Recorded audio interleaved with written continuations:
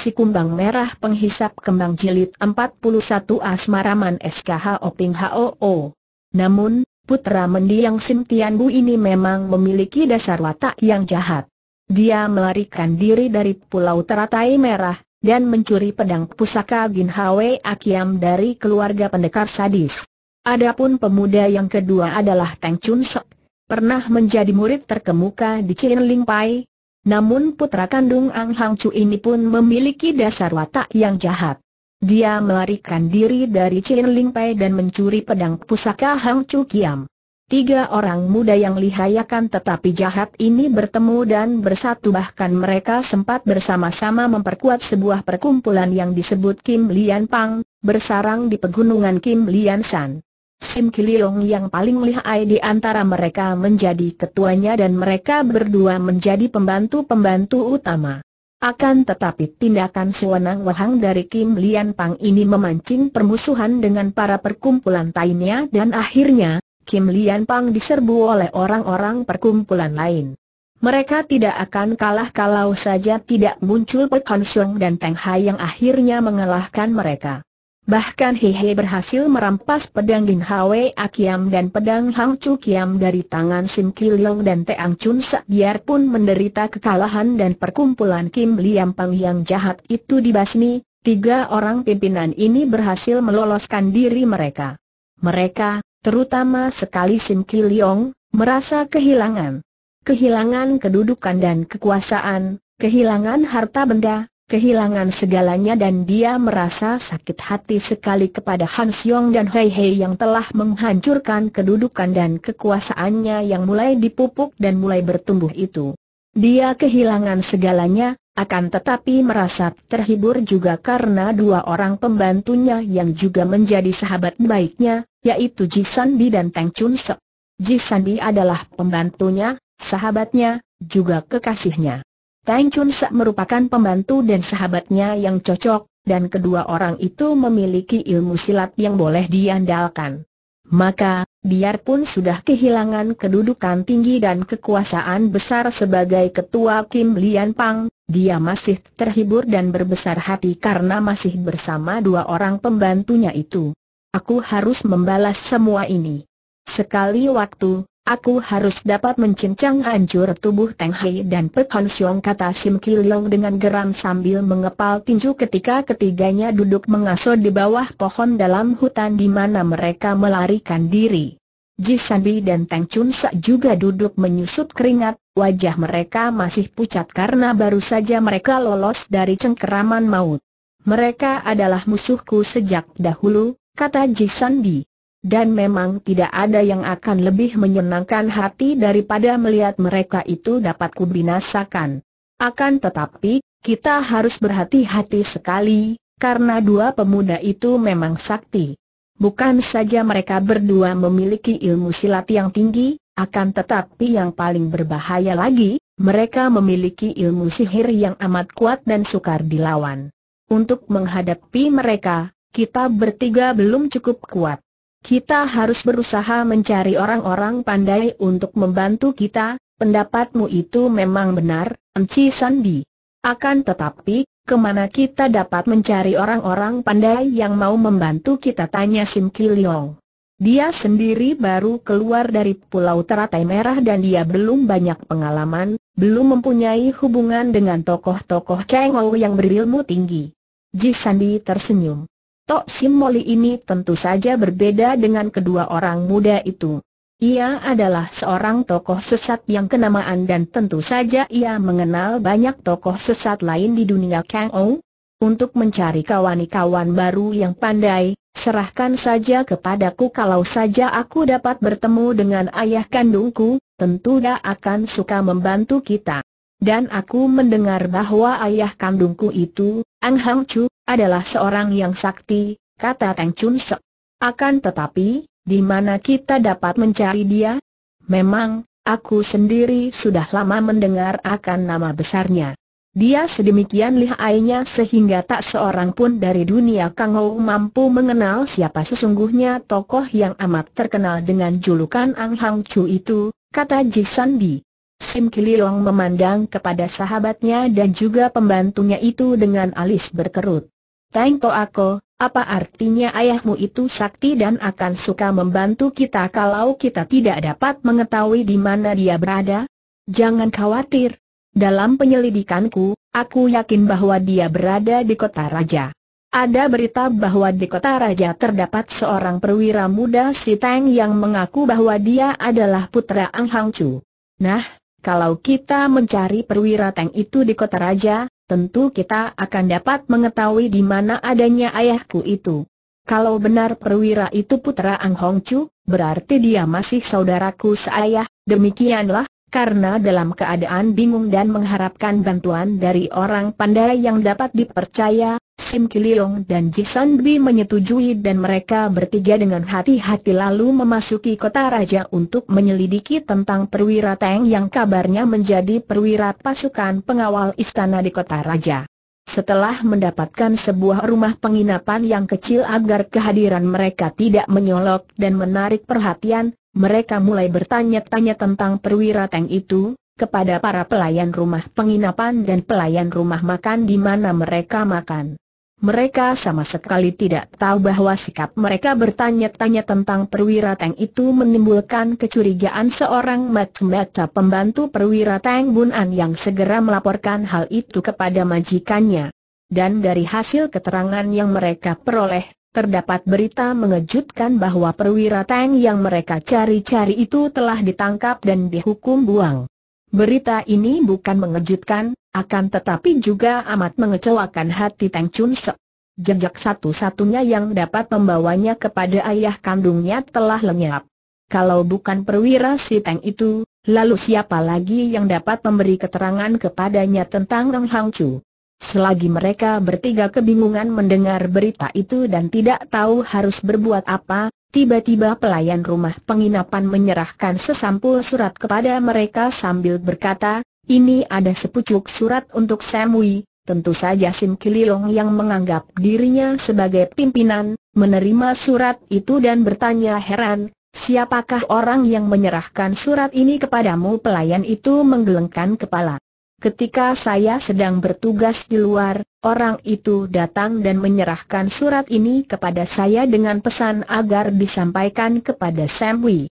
Mula-mula dia bertanya apakah ada dua orang pemuda dan seorang wanita yang bermalam di sini, yang bertanya-tanya tentang perwira Tang. Ketika saya membenarkan, dia lalu mengeluarkan surat ini dengan pesan agar saya serahkan kepada Sam Wei, Sim Kililong mengangguk dan pelayan itu lalu pergi. Dengan heran dan ingin tahu Sim Kililong membuka sampul surat itu dan membaca isi surat yang singkat saja. Kalau kalian bertiga ingin tahu tentang perwira Teng, keluarlah dari kota raja melalui pintu gerbang utara dan ikuti seorang yang akan menjadi penunjuk jalan. Surat itu tanpa nama pengirim, tanpa tanda tangan, ditulis dengan huruf indah dan gagah. Membaca ini, mereka bertiga saling pandang dan Teng Chun Sa menjadi gembira sekali. Ah, jejak yang menghilang itu kini timbul kembali serunya. Kita harus cepat menuruti petunjuk surat ini. Kalau kita dapat menemukan perwira Teng, tentu akan mudah mencari Ang Hang Chu ayahku, Jisan Bi yang pengalamannya jauh lebih luas dibandingkan dua orang muda itu, mengerutkan alisnya. Kita harus berhati-hati dan waspada. Adanya surat ini, berarti pengirimnya sudah tahu akan kedatangan dan gerak-gerik kita. Sebaliknya, kita tidak tahu siapa dia atau mereka, dan tidak tahu pula mereka itu kawan atau lawan. Undangan ini dapat saja beriktikat baik, akan tetapi juga dapat merupakan suatu perangkap, hem, andai kata merupakan suatu perangkap, apakah kita perlu takut? Kita hajar mereka kata Sim Kajeliong ini bukan merupakan suatu kesombongan atau bualan belaka. Mereka bertiga merupakan orang-orang yang memiliki ilmu silat yang tinggi dan sukar dicari tandingannya, maka tentu saja mereka bertiga tidak takut akan ancaman pihak lawan yang belum mereka ketahui esi apa. Benar, kita tidak perlu takut. Pula, kalau pengirim surat ini mempunyai niat buruk terhadap kita, perlu apa dia mengirim surat? Tentu mereka akan terus saja mengepung dan menyerang kita, kata pula Teng Chun Se. Betapapun juga, kita waspada, kata Jisan Bi harus berhati-hati dan tetap mari, sekarang juga kita pergi sebelum hari menjadi gelap, kata Sim Kiliong. Mereka lalu meninggalkan rumah penginapan, menuju ke pintu gerbang utara dan keluar dari kota raja. Setelah tiba di luar pintu gerbang, dan berjalan terus sampai ke jalan yang sunyi, mereka dihadang seorang laki-laki setengah tua yang berpakaian sebagai seorang pemburu. Laki-laki itu menjura dan berkata dengan suara lirih. Sam Wee yang mencari perwira Teng tiga orang itu memandang penuh perhatian dan mengangguk. Laki-laki itu nampak gagah dan bertubuh tegap, namun mereka tahu bahwa dia ini hanyalah seorang anak buah atau utusan saja. Silakan Samwi ikut dengan saya, orang itu berkata pula. Tiba-tiba, secepat kilat, Jisan Bi menggerakkan tubuhnya ke arah orang itu, tangan kirinya mencengkeram ke arah kepala. Orang itu terkejut, akan tetapi jelas bahwa dia bukan orang lemah karena melihat serangan itu, dia cepat miringkan tubuh dan menggerakkan tangan kanan untuk menangkis. Akan tetapi, cengkeraman tangan kiri itu hanya gertakan saja, yang bergerak sungguh-sungguh adalah tangan kanannya, dengan dua jari menotok pundak. Gerakan Jisan Bi terlalu cepat bagi orang itu sehingga tidak sempat mengelak lagi. Pundaknya tertotok dan dia pun terguling roboh, tak mampu menggerakkan tubuhnya lagi. Nah, kau lihat. Kalau engkau menipu dan menjebak kami, nyawamu akan melayang kata Jisan Bi dan dia pun menepuk pundak orang itu untuk membuka kembali jalan darah yang tertotok. Orang itu bangkit dan memandang dengan wajah membayangkan perasaan jerih. Tak disangkanya bahwa wanita cantik itu sedemikian lihainya. Dia mengangguk dan berkata, saya hanyalah utusan untuk menyambut Sam Wee. Kenapa saya diganggu tak perlu banyak cakap kata Sim Kiliong. Hayo antarkan aku dan teman-temanku ini kepada si pengirim surat dengan sikap ketakutan, orang itu lalu berjalan menuju ke arah sebuah bukit, diikuti oleh tiga orang itu. Matahari mulai condong ke barat ketika mereka menyusup-nyusup hutan akhirnya mereka tiba di depan sebuah pondok di puncak bukit, tengah hutan dan yang tersembunyi itu. Tempat itu amat sunyi, dan pondok itu sama sekali tidak nampak ketika mereka mendaki bukit itu, karena tersembunyi di dalam hutan yang lebat.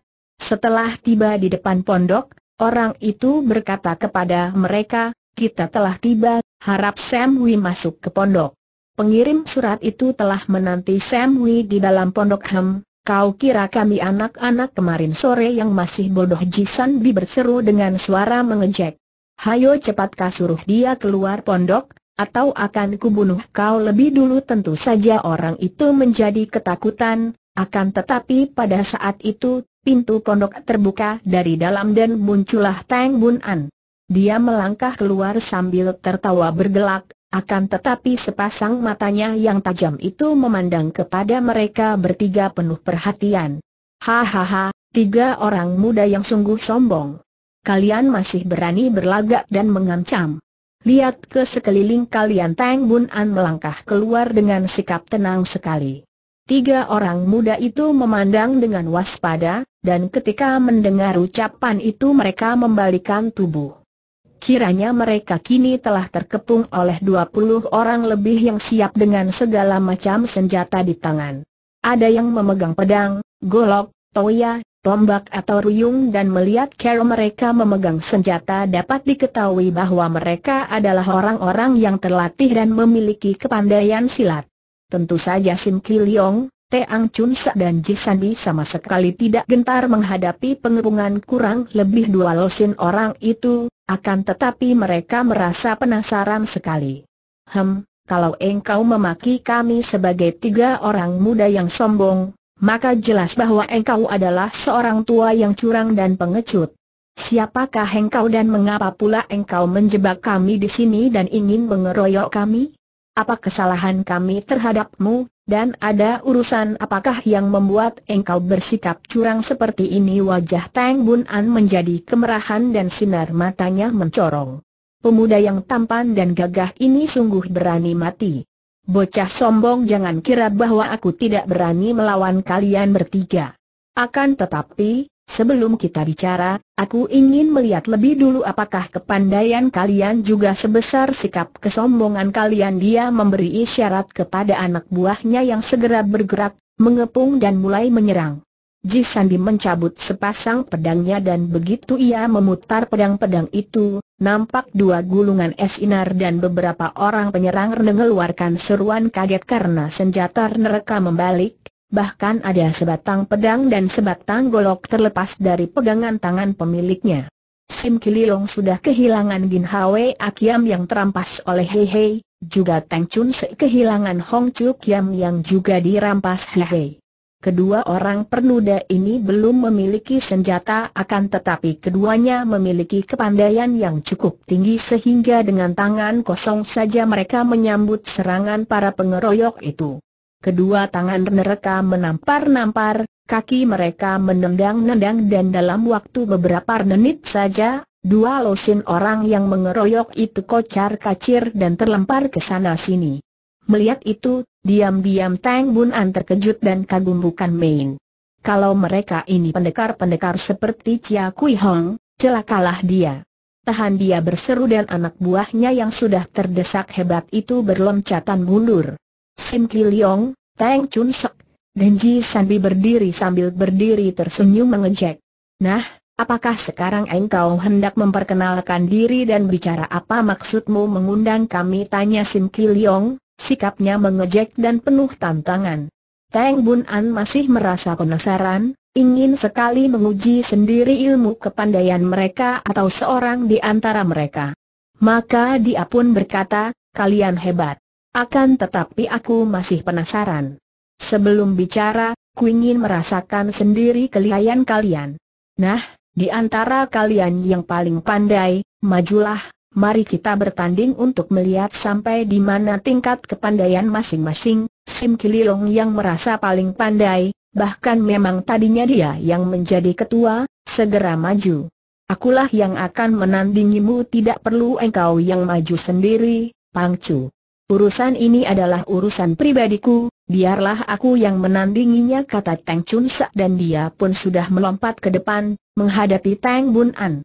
Dia masih menyebut Pangcuk kepada Sim Kililong walaupun kini pemuda itu bukan lagi seorang ketua perkumpulan dan sudah tidak memiliki anak buah lagi.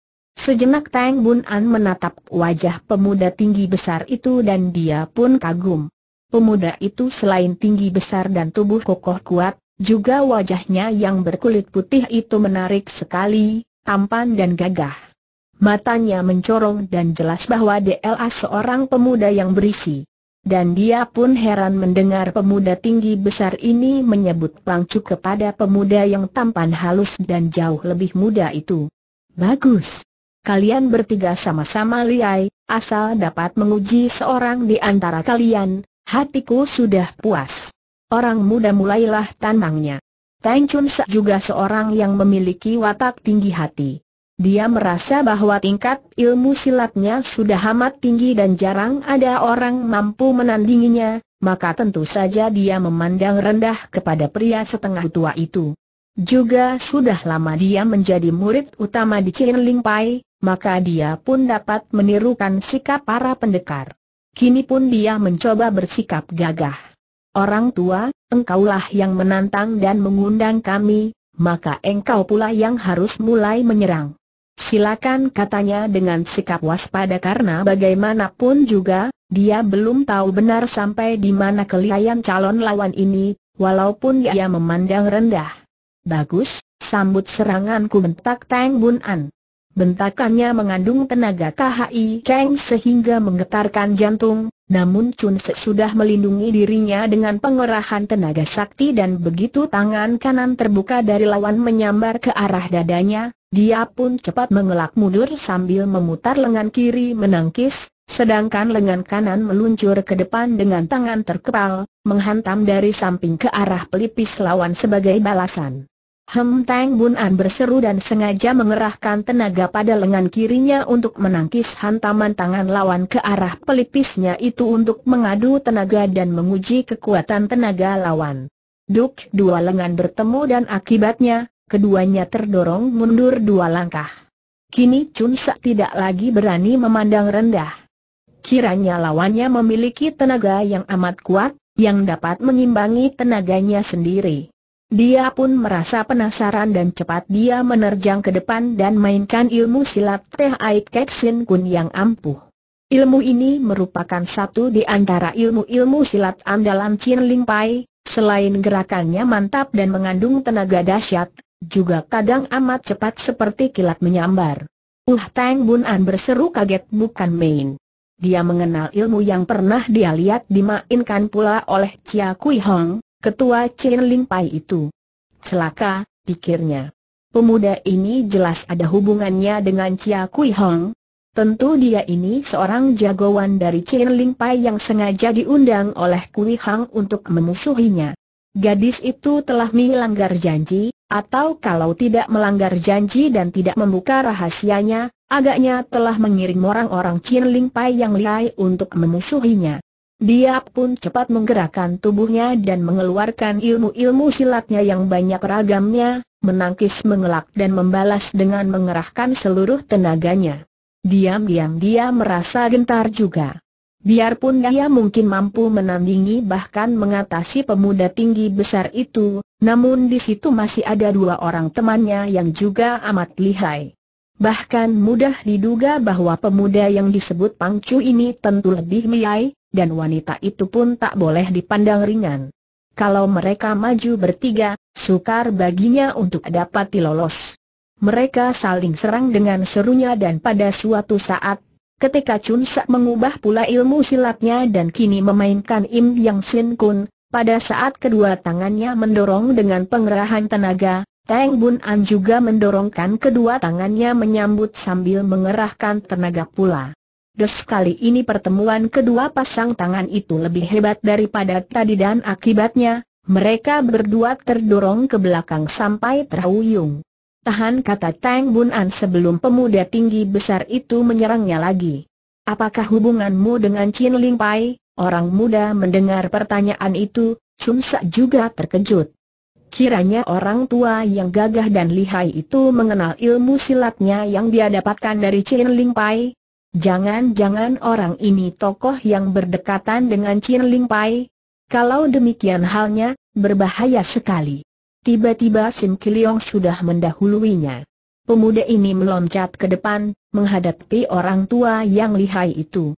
Paman, mengingat bahwa engkau yang mengundang kami dan mengirim surat, maka sudah sepantasnya kalau engkau pula yang menceritakan siapa dirimu dan apa pula maksudmu mengundang kami, Kemudian di sini menguji kepandaian kami, Teng Bun An meraba-raba dagunya yang dicukur bersih. Aku sengaja mengundang kalian ketika mendengar dari anak buahku bahwa kalian bertanya-tanya tentang perwira Teng apakah yang kau maksudkan adalah perwira Teng Bun yang telah dihukum buang oleh Kaisar melihat sikap tiga orang muda itu berkeras menuntut dia yang lebih dulu memperkenalkan diri dan membuat pengakuan, dia menyambung cepat. Kalau yang kalian maksudkan Teng Gun, maka aku dapat memberi keterangan sejelasnya tentang dia, kini Teng Chun Se yang menjawabnya. Sebenarnya, akulah yang berkepentingan dengan perwira Teng itu. Kami tidak tahu siapa namanya, yang kami cari adalah perwira Teng yang mengaku bahwa dia adalah putra Ang Hang Chu Teng Bun An kini memandang wajah Chun Se penuh perhataan, Sinar matanya yang mencorong itu seperti hendak menyelidiki isi hati pemuda itu melalui pengamatan wajahnya. Hem, orang muda yang kau cari itu Tenggun ataukah Ang Hang Chu bagaimanapun juga, pemuda ini pandai ilmu silat Chin Ling Pai dan kalau dia mencari Ang Hang Chu, jelas bahwa dia datang diutus oleh Chia Kui Hong. Kami mencari Ang Hang Chu Chun berseru. Dapatkah engkau menceritakan di mana adanya Ang Hang Chu biarpun jantungnya berdebar tegang, Teng Bun An masih dapat tersenyum dan mengangguk-angguk. Tergantung dari sikap kalian. Kalian bertiga yang membutuhkan keterangan, maka sepatutnya kalau kalian memperkenalkan diri lebih dulu kepadaku, dan menjelaskan apa maksud kalian mencari Ang Hong Chu. Barulah akan ku pertimbangkan apakah aku boleh memberitahu kepada kalian di mana adanya Ang Hang Chu ataukah tidak, nanti dulu, jangan sembarangan membuat pengakuan kata Jisan Bi cepat, lalu wanita ini memandang kepada Tang Bun An dengan sinar mata tajam. Hem, engkau ini orang tua yang licik bukan main. Kami bertiga tidak mempunyai urusan denganmu, lalu engkau mengirim surat kepada kami, memancing kami datang ke sini. Kemudian engkau mengerahkan anak buahmu untuk mengeroyok kami, bahkan engkau sendiri menguji kepandaian seorang di antara kami. Apa artinya semua ini? Dan sekarang, engkau hendak memancing keterangan kami tanpa memberitahu kepada kami siapa engkau dan apa artinya semua perbuatanmu ini. Padahal, pengeroyokan anak buahmu telah gagal, dan betapapun lihaimu, kiranya engkau tidak akan mampu mengalahkan kami bertiga. Bahkan kalau kami mau, kami akan dapat mengeroyok dan merobohkanmu. Nah, dalam keadaan seperti ini, sepatutnya engkaulah yang lebih dulu memperkenalkan diri dan menjelaskan mengapa engkau mengundang kami. Teng Bun An tertawa dan dia memandang kepada wanita itu dengan kagum. Seorang wanita yang bukan saja cantik, namun berkepandaian silat tinggi dan cerdik sekali, dan tentu saja dia mengenal baik siapa Ji Sandi. Dalam pertemuan pertama tadi, dia lupa. Akan tetapi sekarang dia teringat bahwa dia pernah bertemu dengan wanita ini. Ketika itu, dia menyamar sebagai Han Lojin yang berkumis dan berjenggot, hahaha. Tok Sim Moli, kau kira aku tidak mengenal kalian? Dan engkau adalah Sim Kiliong yang pernah menjadi murid pendekar sadis itu, bukan? Hahaha, siapa bilang kalau keadaanku kalah? Lihat di belakang kalian tentu saja Ji Bi dan Sim Kiliong terkejut bukan main mendengar betapa orang tua itu telah mengenal mereka, dan ketika mereka memutar tubuh, kiranya di situ sudah terdapat puluhan orang berpakaian seragam prajurit pengawal yang sudah siap dengan busur dan anak panah. Siapa, siapakah Heng Kasim Kiliong bertanya, kaget bukan main. Hahaha, kalau aku menghendaki, Aku dapat mendatangkan ratusan orang prajurit pengawal. Aku adalah seorang perwira pengawal yang mengepalai ribuan orang prajurit. Nah, kalian masih berkepala besar dan tidak mau mengaku apa maksud kalian mencari perwira Tenggun dan Ang Hang Chu tiga orang muda itu saling pandang dan mereka sungguh terkejut bukan main. Mereka tidak menduga siapa adanya perwira yang lihai ini, yang ternyata sudah mengenal Jisan Bi dan Sim Kiliong. Melihat bahwa agaknya perwira itu belum mengenal dirinya, Chun selalu berkata dengan sikap hormat.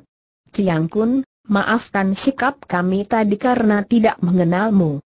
Baiklah ku jelaskan bahwa sebenarnya yang berkepentingan dengan An Hang Chu adalah aku pribadi. Aku mempunyai urusan pribadi yang amat penting dengan Ang Hong Chu, karena itulah maka aku mencari dia dan kalau Chiang Kun tahu di mana dia, tolong memberitahu kepadaku. Tadinya Tang Bun An masih menaruh curiga terutama kepada pemuda tinggi besar yang pandai ilmu esilat Chin Ling Pai itu, akan tetapi setelah dia teringat kepada Ji San Bi dan juga Sim Kiliong sebagai dua orang muda yang berpihak kepada golongan sesat, bahkan pernah pula membantu pemberontakan golongan hitam yang dipimpin oleh Lem Ai Giam Lo, maka hatinya lega. Jelas bahwa dua orang seperti Ji San Bi dan Sim Kililong itu dapat ditariknya menjadi pembantu atau sekutu yang boleh diandalkan. Dan pemuda tinggi besar yang mencari Ang Hang Chu ini, walaupun ia belum mengenalnya, namun, agaknya dia pun sahabat dua orang muda sesat itu. Hem, kalau begitu, marilah kita bicara di dalam. Urusan pribadi tidak sepantasnya dibicarakan di luar karena maklum bahwa kini keadaan mereka bertiga yang berada di bawah ancaman bahaya kalau sampai mereka menentang, maka tiga orang muda itu lalu mengikuti Tang Bun An memasuki pondok itu. Dia mempersilakan tiga orang tamu itu duduk di ruangan tamu, dan dia sendiri memasuki kamarnya. Tak lama kemudian, dia keluar lagi dan kini sudah berpakaian sebagai seorang perwira sehingga tiga orang muda itu semakin percaya kepadanya. Nah, orang muda. Sekarang kita bicara di sini dan tidak ada orang luar yang mendengarkan kita. Katakanlah mengapa engkau mencari Ang Hang Chu, dan urusan pribadi penting apa yang kau miliki terhadap dia. Ceritakan saja terus terang, Baru nanti aku akan kuberitahukan di mana di mana adanya Ang Hong Chu yang kau cari-cari itu, Chun Sok kini merasa bahwa tidak ada gunanya lagi dia merahasiakan dirinya. Agaknya perwira itu boleh dipercaya, dan tentu dia benar-benar tahu di mana adanya Ang Hang Chu, karena sikapnya terhadap mereka bertiga tidak memusuhi. Kalau memang dia bermaksud buruk, tentu sudah sejak tadi dia mengerahkan anak buahnya lebih banyak lagi untuk menangkap mereka bertiga. Baiklah aku mengaku terus terang saja, Chiang Kun. Aku mencari Ang Hang Chu karena dia adalah ayah kandungku. Sejak kecil aku mencarinya, maka ketika mendengar ada seorang perwira si Teng mengaku putra Ang Hang Chu di sini, aku segera mencari ke sini, ditemani oleh mereka ini, biarpun dia terkejut mendengar pengakuan pemuda tinggi besar itu, Teng Bun An tetap bersikap tenang. Dia memang tahu bahwa perbuatannya selama ini telah membuahkan keturunan di mana-mana, dan tentu saja dia tidak tahu siapa di antara para wanita yang menjadi korbannya, melahirkan seorang keturunan darinya. Mula-mula muncul Tang He atau He He yang amat lihai itu, yang mengaku sebagai putranya, akan tetapi yang kemudian menjadi musuh besarnya yang paling ditakuti, karena harus diakuinya bahwa selama ini belum pernah dia bertemu tanding sekuat dan selihai He He. Kemudian muncul Tenggun yang juga mengaku sebagai putranya. Putra ini terpaksa dia korbankan demi mencari kedudukan tinggi bagi dirinya sendiri. Akan tetapi diam-diam dia telah membebaskan putranya itu dari hukuman buang, dan memberinya bekal. Dibandingkan Hei Hei, Tenggun bukan apa-apa, tidak memiliki ilmu silat yang tinggi. Akan tetapi kini muncul pemuda ini yang mengaku putranya pula, dan pemuda ini pun amat liai, bahkan agaknya menjadi murid Chin Ling Pai, walaupun belum sehebat He He tingkat kepandaiannya. Orang muda, jangan engkau sembarangan saja mengaku sebagai putra Ang Hang Chu, katanya dengan suara yang tegas dan kaku. Kalau engkau benar putra Ang Hang Chu, lalu apa buktinya dan apa tandanya Chun cepat menanggalkan kalungnya, kalung dengan mainan seekor kumbang merah dan memperlihatkannya kepada Tang Bun An. Inilah bukti dan tanda itu, juga nama keturunanku Tang, Tang Chun Se. Ibuku Fo A, berasal dari dusun Liok Chiu di Provinsi Santung. Setelah ibuku mengandung, ia ditinggalkan begitu saja oleh Ang Hong Chu. Ibuku yang mengatakan kepadaku bahwa ayah kandungku adalah Ang Hang Chu, si Teng, dan benda ini pemberian ayah kandungku. Nah, Chiang Kun. Setelah aku dapat memperlihatkan bukti, maka ku harap Chiang Kun suka memberitahu di mana adanya Ang Hang Chu. Teng Bun An menarik napas panjang dan memandang kepada tiga orang muda itu. Semenjak nama besar Ang Hong Chu dikenal di dunia Kang Ou, tak seorang pun pernah dapat melihat wajahnya. Bahkan anaknya sendiri pun tidak akan dapat mengenalnya. Hanya aku yang mengetahui rahasianya. Akan tetapi dia telah memberitahu kepadaku bahwa dia merencanakan untuk muncul di dunia Kang Ou dengan terang-terangan setelah dia mendapatkan sekutu dan kawan-kawan yang dapat dipercaya dan dapat diandalkan. Melihat kalian bertiga adalah orang-orang yang memiliki kepandaian, kukira dia akan suka menerima kalian. Tentu saja aku harus lebih dahulu mendapat kepastian dari kalian apakah kalian akan suka bekerja sama dengan Ang Hang Chu, bekerja sama dalam hal apa Sim Kililong bertanya. Dia ingin membangun suatu kekuatan besar dan menguasai dunia Kang Ou, menundukkan dan menaklukkan perkumpulan-perkumpulan besar di dunia Kang Ou dan mengangkat diri menjadi Beng Chu, pemimpin rakyat. Bagaimana pendapat kalian bertiga Aih? Kebetulan sekali seru Jason Bigirang. Kami bertiga memang sedang mencari sekutu pula, setelah perkumpulan kami dihancurkan oleh musuh. Tentu saja aku setuju sekali hem, aku pun setuju untuk bekerja sama asalkan dia dapat menghargai kemampuanku kata Sim Kiliong. Aku sendiri dengan senang hati akan membantu Ang Hong Chu, karena sudah sejak kecil aku merindukan ayah kandungku dan aku akan berbahagia sekali kalau dapat membantu ayah kata Teng Chun Se. Bagus. Kalau begitu, nanti malam akan kuberitahukan dia dan akan kubujuk dia untuk datang menemui kalian. Sekarang, harap kalian beristirahat dulu. Kalian dapat mandi dan beristirahat, dan malam nanti kita akan makan malam dan dalam kesempatan itu, mungkin sekali Ang Hang Chu akan hadir di tengah-tengah kita, nanti dulu, Chiang Kun. Ada satu hal yang membuat kami penasaran. Bagaimana engkau dapat mengenal aku dan Tok Simoli? Pernahkah kita saling jumpa, dan siapakah nama Chiang Kun? Tanya Sim Kililong yang merasa penasaran. Teng Bun An bangkit dan tersenyum. Nanti saja akan kuceritakan semua, dia bertepuk tangan dan masuklah lima orang prajurit pengawal. Antarkan tiga orang tamu ini ke kamar masing-masing, dan layani mereka baik-baik. Nah, sampai jumpa malam nanti di ruangan makan katanya kepada tiga orang tamunya dan dia pun meninggalkan ruangan itu. Terpaksa tiga orang muda itu, dengan hati penuh pertanyaan, mengikuti para prajurit pengawal yang mengantar mereka ke tiga buah kamar yang terletak di bagian belakang pondok yang ternyata cukup luas itu. Jisan Bi yang masih merasa penasaran, ketika para prajurit itu hendak mengundurkan diri, memegang lengan seorang di antara mereka dan tersenyum manis kepadanya. Sobat yang tampan, tolong beritahu, Siapa sih namanya komandanmu tadi sejenak prajurit itu memandang wajah yang cantik itu dengan penuh kagum dan bibir tersenyum, akan tetapi sikapnya berubah tegas dan dia pun berkata, bagi kami, beliau adalah Cilang Kun, dan kami tidak mengetahui nama lain, setelah berkata demikian, dia membalikan tubuh dan pergi dari situ. Memang kepada semua anak buahnya, Teng Bun An memesan agar mereka itu tidak pernah menyebut namanya dan merahasiakan dirinya. Perintah ini disertai ancaman hukuman berat. Sialan gerutu Jisan Bi kepada dua orang kawannya. Kalau tidak ingat urusan Chun Sok, tentu sudah kubekuk prajurit tadi dan kupaksa dia mengakui siapa nama komandannya. Aku merasa seperti anak kecil dipermainkan saja, sabarlah, Molly. Bukankah kita memang berniat untuk mencari sekutu yang kuat agar dapat bangkit kembali? Kalau memang Ang Hang Chu menghendaki semua rahasia ini, apa salahnya? Dan aku melihat bahwa memang dia telah memiliki kedudukan yang kuat, kata Sim Kiliong. Bagaimana engkau bisa tahu kata Teng Chun Se? Lihat saja. Dia sudah dapat mempengaruhi Chiang Kun itu untuk bekerja sama dengan dia. Dan nampaknya perwira itu amat taat kepadanya memiliki perwira kerajaan yang mengepalai ribuan orang prajurit pengawal. Itu sudah hebat namanya. Agaknya aku akan suka sekali bekerja sama dengan Ang Hang Chu, karena hari sudah sore, mereka pun tidak akan menanti terlalu lama.